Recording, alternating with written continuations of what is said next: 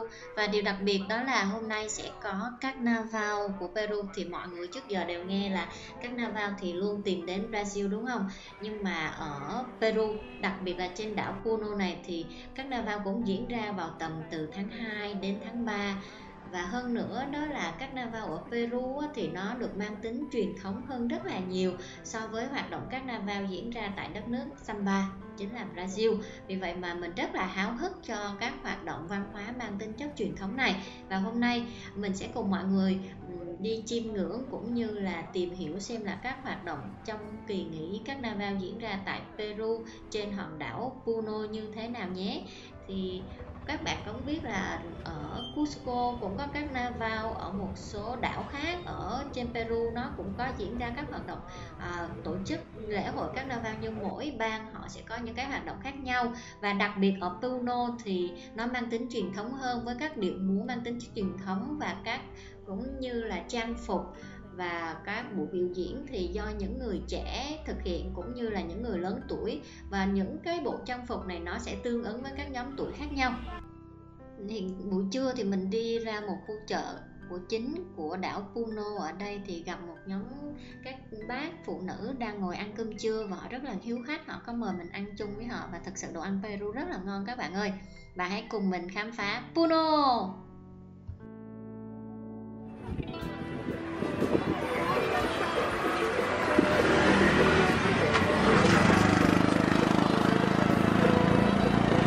¿Dónde queda el barrio Bellavista? Más allá, rincón de la Turquía. Ok, mình đang đi xe xích lô giống như ở Việt Nam mình nói đó trải nghiệm rất là thú vị ở thành phố Puno này. Pero ayer, À, ayer đường había đang que rất là đẹp. 80, Có hình như này đây.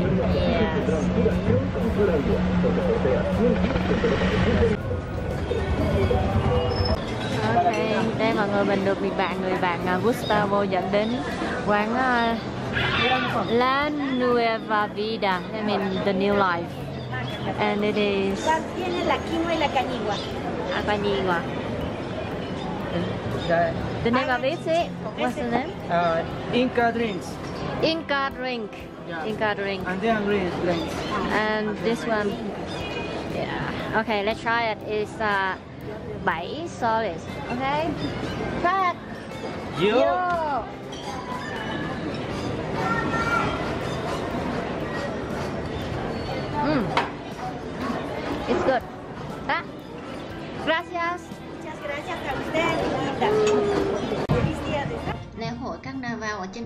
Nó đặc biệt một cái đó là ngay từ giữa trưa thì sẽ bắt đầu bằng việc đó là lễ diễu hành cùng với tượng Đức Mẹ Maria và các nghi lễ khác để cúng đối với các vị thần của phố núi Anden chẳng hạn như là mẹ Pachamama ờ, và các thần Apus và các thần phù hộ cho hồ Titicaca như là thần mưa, thần sấm sét để phù hộ cho một mùa bội thu cho năm sau thì đây là ngày cuối cùng của lễ hội Carnival thì thường nó diễn ra từ 5 ngày tại Peru. Và ngày cuối cùng á, thì là giống như là các hoạt động sôi động nhất sẽ diễn ra trong ngày này giống như là để kết thúc một cái mùa lễ hội.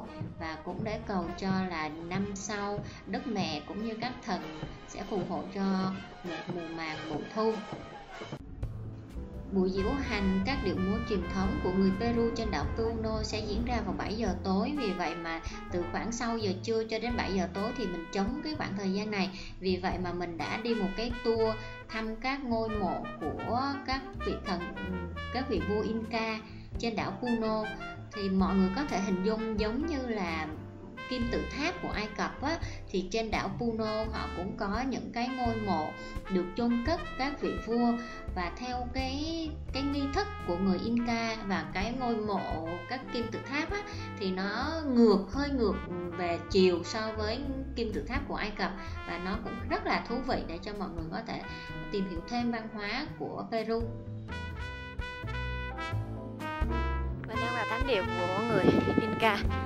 Nơi chôn cất của những người quan trọng nhất trong bộ lạc của người Inca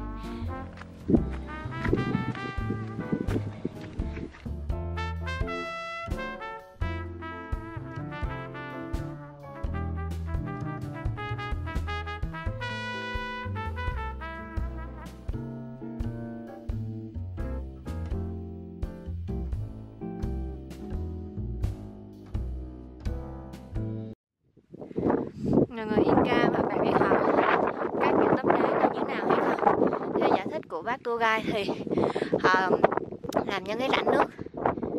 Ờ, uh, ta, có thể chia làm 4, làm 3, 5 phần. Xong rồi cho những rãnh nước này vào mùa đông thì họ cứ đổ theo nước và mùa đông ở đây rất là lạnh nó sẽ bị đông đá.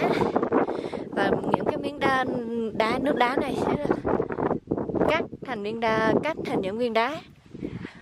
Theo hình dáng mà người Inca ban đầu họ muốn muốn một tip cho các bạn khi tham dự lễ hội Carnival ở bất kỳ các quốc gia nào đó là hãy chuẩn bị nước và đồ ăn vặt, bởi vì tiếng nhạc rất là ồn luôn. Vì vậy, rất khó có thể trò chuyện trong thời gian này và mọi người hãy tập trung, chiêm ngưỡng vẻ đẹp cũng như sự đa dạng về mặt màu sắc, các trang phục cũng như là các nhạc cụ được chơi trong cái lễ hội này và chúc mọi người sẽ có một cái thời gian à, tìm hiểu trải nghiệm văn hóa Carnival tại Peru. Và mình thực sự là rất là thấy một sự khác biệt rất là lớn giữa Carnival của Peru so với Carnival ở Brazil.